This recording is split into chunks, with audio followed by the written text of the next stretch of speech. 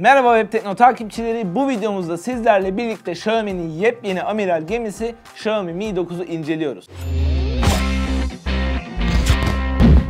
Arkadaşlar videoya başlamadan önce şundan bahsetmek istiyorum. Böyle saçsız sakalsız halde bir önceki videoya 5000 tane benle ilgili yorum gelmiş. Bayağı gülerek okuduk hepsini. Yorumlarınız için çok teşekkür ederim. İlla ki bu ikisi de uzayacak. Şimdi saçı sakalı bir kenara bırakalım. Biz Xiaomi Mi 9'da devam edelim. Telefonda tabii ki de önemli gelişmeler mevcut. Bu gelişmelerden en önemlilerden bir tanesi de kamera. Biz de her zaman olduğu gibi kamerayla başlayacağız. Mi 9 DxOMark testleri üzerinde 107 puan alarak 4. sıraya yerleşti. Yani ciddi bir sırada. Arka kamerada ilk gözümüze çarpan detay 3 tane lensin alt alta sıralanmış olması. Ana kameramız tam 48 megapiksel çözünürlüğünde ve f1.7 diyafram değerine sahip. Diğer iki kameramızdan bir tanesi telefoto lens arkadaşlar 12 megapiksel çözünürlüğünde bu lensle zoom yapabiliyoruz 2 kat. Onun dışında son kameramızda geniş açılı fotoğraflar çekmemize yarıyor. Bu da 16 megapiksel. Bu arada 12 megapiksel olan telefoto lensimiz f2.2 diyafram değerine sahip. 48 megapiksel sayısal olarak fazla geliyor göze arkadaşlar ancak fotoğrafın kalitesi açısından çok fazla bir şey katmıyor. Sizin nerede işinize yarayacak? Mesela bir fotoğraf çektiniz. O fotoğrafın da belli bir kısmını kesmek istiyorsunuz. 48 megapiksel burada devreye giriyor. Kayıtsız bir şekilde fotoğrafı kırpabiliyorsun. Bu arada 48 megapiksel bütün fotoğraflar için geçerli değil. Bunu menüden aktif etmeniz lazım çekmeden önce. Yani çektiğiniz bütün fotoğraflar 48 megapiksel olmak zorunda değil. Bunu kapattığınız zaman 12 megapiksele düşüyor çözünürlüğümüz. Çektiğiniz fotoğraflara baktığımız zaman renklerin gerçek hayattaki renklere yakın olduğunu görüyoruz. Fazla böyle patlamalar, çatlamalar, abartı kontrastlar yok. Bunun yanında düşük ışıkta da diyaframı sayesinde kötü işler çıkarmıyor. Fena sayılmaz. Geniş açılı lense baktığımız zaman mesela küçük bir alan çekeceksiniz arkadaşlar. Küçük bir odayı ya da bir manzaranın tamamını almak istiyorsunuz.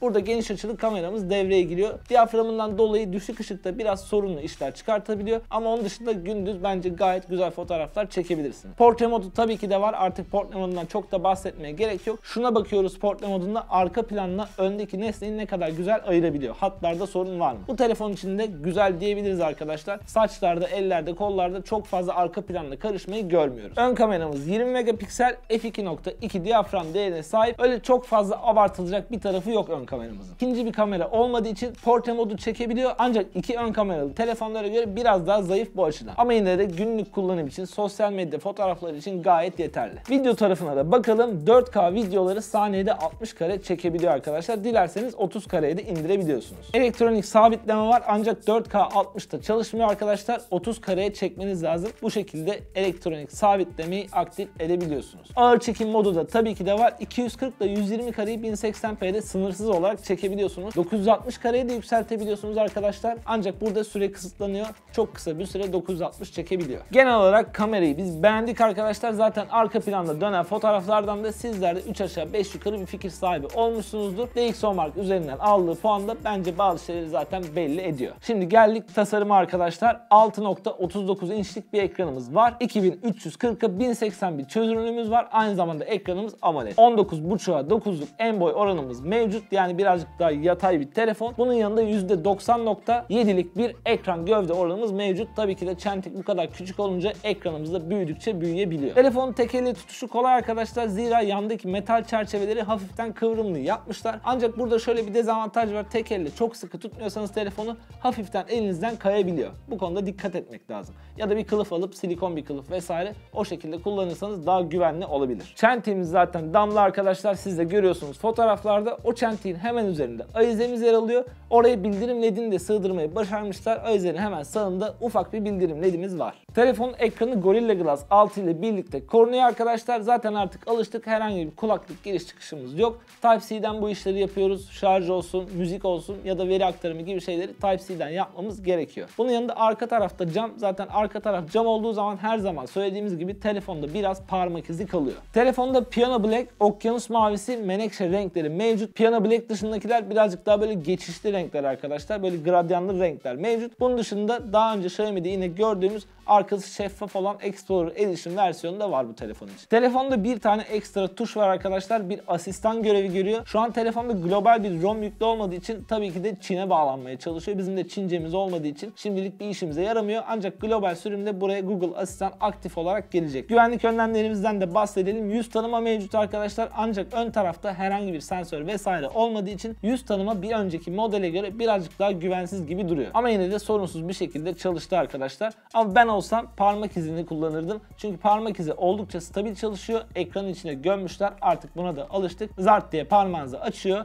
ve telefonun tuş kilidini de açmış oluyor. Sim kart girişlerimiz telefonun sol tarafında iki tane nano sim buraya takabiliyoruz. Ancak herhangi bir hafıza kartı takılmıyor. Tasarımı şöyle genel olarak bakarsak günümüzün trendlerini yakaladığını görüyoruz. Ancak bunun dışında çok da ekstra bir şey katmıyor. Ha katmasına gerek var mı? Orası ayrı mesele ama bence sade, şık, güzel bir telefon olmuş. Şimdi sıra donanıma geldi. Arkadaşlar telefonun en güçlü taraflarından bir tanesi. İçinde günümüzün en güçlü işlemcilerinden biri olan Snapdragon 855'i barındırıyor. Bu işlemcide bir tane ultra güçlü bir çekirdek yer alıyor. Onun dışında 3 tane yüksek performansla çalışabilen çekirdeği mevcut. Bunun yanında da 4 tane güç tasarruflu çekirdek var. Yani toplam 8 çekirdekli bir işlemci. Adreno 640 grafik işleme birimi yer alıyor. 6 ve 8 GB RAM'li modelleri var. Hatta bu arkası şeffaf olan için 12 GB RAM'lisi olduğu söyleniyor. Ancak global versiyonda 6 GB RAM olacak. Bunu da hatırlatalım. Depolama olarak da 64 ve 128 GB seçenekleri mevcut ki bence 128'i tercih etmek hafıza kartı girişi olmayan bir telefon için biraz daha mantıklı gibi. Videonun çekildiği tarih itibariyle telefonun teknik özellikleri piyasada bulabileceğiniz en iyi teknik özelliklerden bir tanesi. Buna kabulüz arkadaşlar. Ancak günümüzde 845 hala geçerli bir işlemci, çok güçlü bir işlemci. Yani Mi 9 tarzındaki telefonlar birazcık daha ileriye yönelik diyebiliriz. Oyunlar coştukça zaten bu mesele daha çok anlaşılır hale gelecek. Şimdi oyun demişken 10 dakika boyunca PUBG oynamadan kendisini tabii ki de bırakmayacağız. Gelin 10 dakika oyunumuzu oynayalım.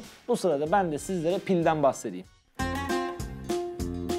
Bataryamız 3300 mAh kapasiteye sahip. Kutu içerisinden çıkan adaptörle birlikte yarım saatte yaklaşık %45 seviyelerine geliyor telefonumuz. Çok uzun test etme fırsatım olmasa da standart bir kullanıcı için bir günü çıkarabilecek ancak daha fazlasını da vaat etmeyecek gibi gözüküyor. Ayrıca telefonda kablosuz şarj desteği de mevcut bunu da hatırlatalım. 10 dakikalık oyun sonuçlarımıza baktığımız zaman da şarjımız %95'ten %92'ye geliyor yani sadece %3'lük bir kayıp var. Bunun yanında sıcaklığımız da 28.2 dereceden 30 35 derece yükseliyor. Biraz ısınıyor telefon ancak şarj konusunda herhangi bir sorunla karşılaşmadık. Oyunda tabii ki de oldukça akıcı bir şekilde çalıştı. Şimdi arkadaşlar oyunumuzu oynadık. Artık yavaş yavaş da videomuzun sonuna gelelim. Telefonun fiyatı 4000 TL. Arkadaşlar kamera, donanım, tasarım açısından bizlere oldukça güzel şeyler vaat ediyor ve fiyatı da gerçekten bu donanıma, bu kameraya göre bence uygun. Ha 2-3 ay sonra kronik bir sorunu olur, bataryasında bir sıkıntı olur, donanımda bir uyuşmazlık olur vesaire orası ayrı bir konu. Ama ben şöyle size sizlere bir eksilerini, artılarını bir toparlayayım. Artılarından bahsedelim. Telefonun tasarımı çok güzel. Parmak izi okuyucusu gayet hızlı, stabil çalışıyor. Ben çok beğendim. Aynı zamanda kamerası gayet iyi arkadaşlar. Bunun yanında rakiplerinden çok daha ucuz fiyatı var. Eksilerinden de bahsedelim. Telefonun suya karşı herhangi bir dayanıklılığı yok arkadaşlar. Bunun yanında hafızasının arttırılamaması bence birazcık problem. Bir de böyle hafiften benim gibi sakarsanız elden düşürme riskiniz var. Telefon biraz kaygan olmuş arkadaşlar. Ama tabii ki de bunlar çok büyük sorunlar değil.